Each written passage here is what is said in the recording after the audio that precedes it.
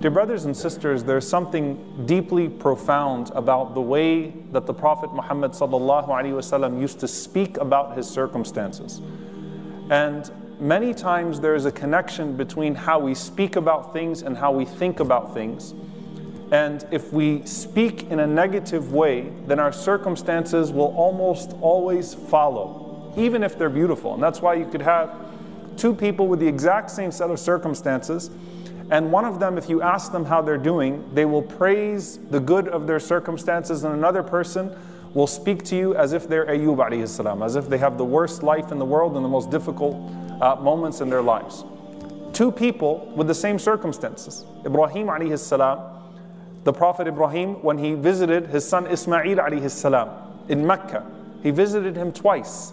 And the first time Ibrahim alayhi salam visited, he sees a wife of Ismail alayhi salam and asked her how she's doing, and all she pointed to were the negativities, the hardships that they had.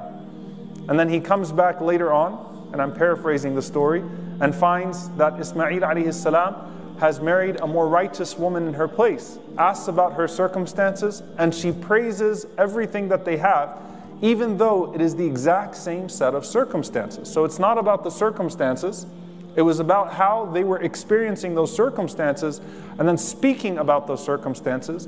And there is a connection between the two. So much so that Allah subhanahu wa ta'ala says, and we often kind of brush over this very quickly, وَأَمَّا بِنِعْمَةِ رَبِّكَ فَحَدِّثْ As for the blessing of your Lord upon you, speak of it. Say Alhamdulillah for it. Thank Allah for it and be very conscious about how you speak about it. You know, when you take your sip of water and you say, Alhamdulillah, did you actually just internalize, Alhamdulillah? Alhamdulillah for the sip of water. Thank you, Allah, for the sip of water. There's something very powerful about that. That is a tahadduth bi ni'matillah, speaking about the ni'mah of Allah subhanahu wa ta'ala. There's another hadith that we often quote partially, and I wanted to just focus on the last part because it's very profoundly connected to this and get to the person of the Prophet ﷺ first and how he dealt with this. The Prophet ﷺ said, Look to those who have less than you, not to those who have more than you. Why? Because that will make you more content with what Allah subhanahu wa ta'ala has given to you. Stop looking at those who have more than you, look to those that have less than you. And the last word, part of that hadith in some narrations is وَلَا تَزْدَرُوا نِعْمَةَ اللَّهِ أو وَلَا تَزْدَرُوا نِعْمَةَ اللَّهِ عَلَيْكُمْ Do not belittle the blessings that Allah subhanahu wa ta'ala has bestowed upon you. Meaning one part of the hadith is what you're looking at. The other part of the hadith is how you're talking about things. وَلَا تَزْدَرُوا نِعْمَةَ اللَّهِ عَلَيْكُمْ Don't belittle, don't use words that belittle a blessing that Allah subhanahu wa ta'ala has given to you and this speaks to the small things in life as well as the large things in life. This speaks to our negative self talk and positive self talk. This speaks to how we interact with our families. This speaks to how we interact with our communities. This speaks to optimism and pessimism. This speaks to all of those different things. وَلَا تَزْدَرُوا نِعْمَةَ اللَّهِ عَلَيْكُمْ Don't you dare belittle a blessing that Allah subhanahu wa ta'ala has bestowed upon you. So how does that start with the Prophet Muhammad sallallahu alayhi wa first? I want you to just think about this hadith and sit with it for a bit. ما عاب النبي صلى الله عليه وسلم طعاما قط. The Prophet ﷺ never once criticized food that was on his plate. He never criticized a morsel of food that was on his plate. Now, if you sit for a moment with that and think about this man ruled how much of the world? Sallallahu Alaihi Wasallam. Power, prestige, and think about our own lives. If you've gone through hard times and good times, you get a little bit more selective with your blessings, selective with your food. You rarely find people that eat to, to function and eat to live criticizing their food. The bread was overcooked today. The bread was. no, no. But for us, we start, you know, doing Yelp in our heads on every single plate of food that we eat, right? Reviewing everything that we eat. The Prophet said, do you know how amazing that is? That he never once pointed to a flaw in his food. He never once said, It's too salty, I don't like it, I didn't enjoy this.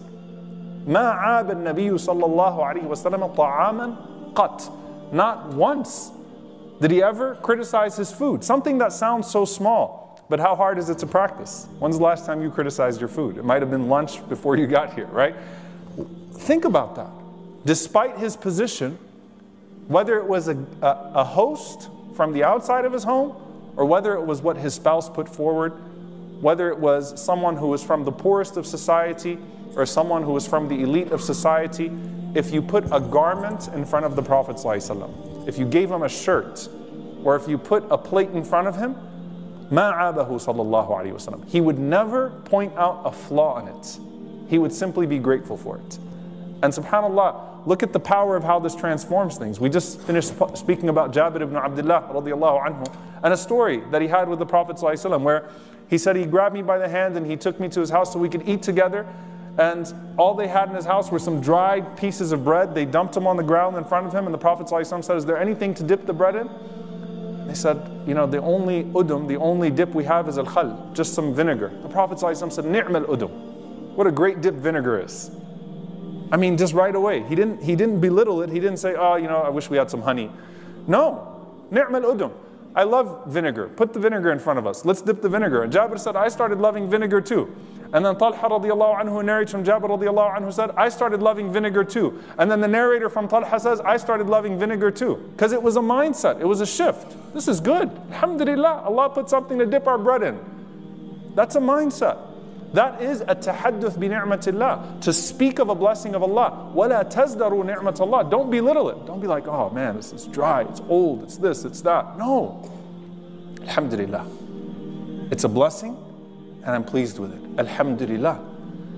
And if that's with the small things, what about the big things? Right? What about the people in our lives? What about the circumstances in our lives that are far more consequential than the bites of food that we have. The Prophet ﷺ said, speaking about marriage, since everyone likes to quote uh, the other person's hadiths on them, husbands and wives, there's actually an implementation of this hadith for both, and it's almost identical, subhanAllah.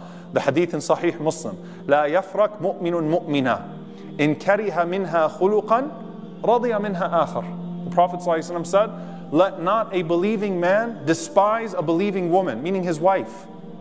Don't talk your wife down. In kariha minha khuluqa, if he doesn't like something about her, a quality that she has, she might have a certain thing that he doesn't like about her, radiya minha akhar. Then he likes something else about her, speak about that thing. Don't speak about the thing you don't like, focus on what you like and extol it. No one's perfect, and you're not perfect either. And the Prophet said about women to men.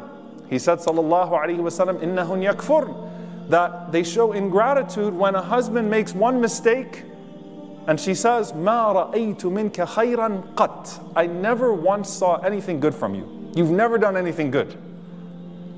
So she denies everything and focuses on the fault.